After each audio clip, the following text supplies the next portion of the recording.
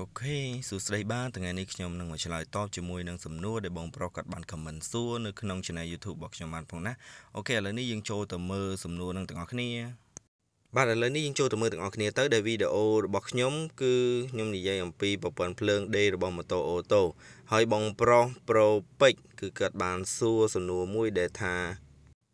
បងខ្ញុំសូមឲ្យបងជួយធ្វើវីដេអូបង្ហាញពីប្រភេទម៉ូតូ D ស្ងាត់ តើដុំដេរបស់វានៅទីណា ធ្វើមិនដេចបានម៉ូតូដេស្ងាត់អាចឆេះបានអូខេអានេះគឺខ្ញុំអានកាត់កាត់ព្រោះកន្លែងខ្លះគឺកិនសេរីខុសដែរតែអត់មានបញ្ហាទេអូខេក៏អរគុណដល់បងប្រូពេជ្រផងដែរដែលគាត់បានសួរសំណួរនេះគឺល្អមែនតើសំណួរនេះគឺជាសំណួរមួយដែលជាងជាងពីចាំគឺចង់ដឹងដែរ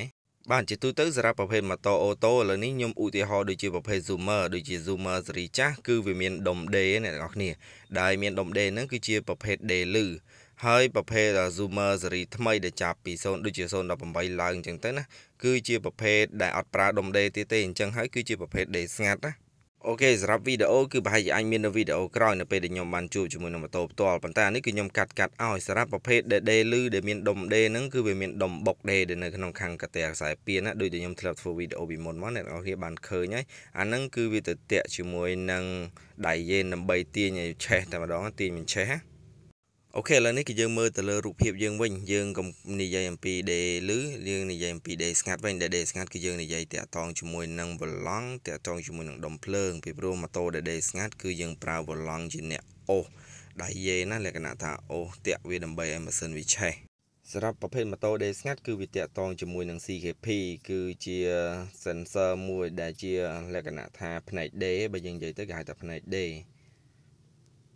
យើងអាចមើលរូបមួយនេះមកអ្នកទាំងអស់គ្នាប្រហែលជាស្គាល់ហើយប្រភេទ CKP ផ្នែក D អាហ្នឹងគឺជាឧបករណ៍មួយដែលវាចាប់ជាមួយនឹងដុំភ្លើងហើយវឡង់វិវិលអូខេនៅពេលដែលយើងចុច D បញ្ឆេះម៉ូតូគឺវាមានតង់របស់វាតង់របស់វាទៅធាក់វាដើរតួដូចជាដុំដេដែរប៉ុន្តែមិនមែនប្រើដុំដេសម្រាប់ប្រភេទម៉ូតូដេស្កាត់គឺប្រើជាលក្ខណៈវឡង់ដែលបានរុញច្រានធាក់បញ្ឆេះវាឲ្យវិលណា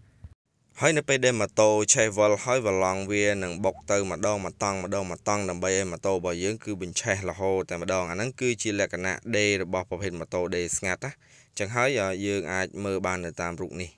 អានេះគឺខ្ញុំគ្រាន់តែត្រួសត្រាសឲ្យទេសម្រាប់ការឆ្លើយតបទៅលើសំណួរនេះបើសិនជាបានជួបជាមួយនឹងឧបករណ៍ផ្ទាល់ឬក៏ម៉ូតូផ្ទាល់ខ្ញុំនឹងធ្វើវីដេអូផងដែរ ដើម្បីជាធ្វើវីដេអូទី2អូខេអញ្ចឹងអរគុណច្រើនដល់បងប្រុសដែលបានសួរសំណួរអញ្ចឹងខ្ញុំគាំទ្រអ្នកទាំងអស់គ្នា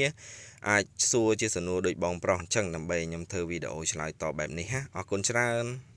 បាទអានេះគឺខ្ញុំឆ្លើយតបត្រួសត្រាសទេបើសិនជាចង់បានអ្វីដែលពេញលេញមែនតើចាំមើលយើងជួបជាមួយនឹងឧបករណ៍ផ្ទាល់ឬក៏ជួបជាមួយនឹងម៉ូតូផ្ទាល់គឺយើងនឹងធ្វើឲ្យពេញតែម្ដងនៅវីដេអូក្រោយៗទៀតណាចឹងហើយអ្នកទាំងអស់គ្នាដែលចូលមកថ្មីកុំភ្លេចជួយ Like Subscribe Channel YouTube ខ្ញុំមកផងណាអរគុណច្រើនអ្នកទាំងអស់គ្នាជម្រាបលាបាយបាយ